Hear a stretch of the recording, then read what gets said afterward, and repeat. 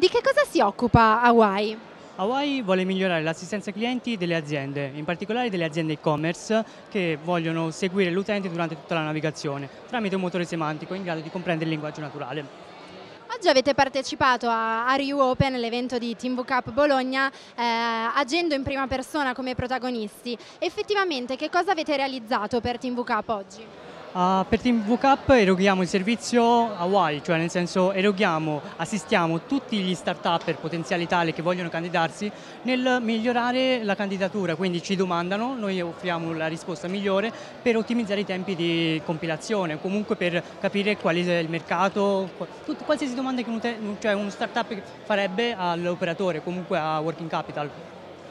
L'evento di oggi è stata anche l'occasione per lanciare la Call for Startup 2016. Quali consigli ti senti di dare alle giovani startup e ai nuovi start-upper che si approcceranno a Team VCAP?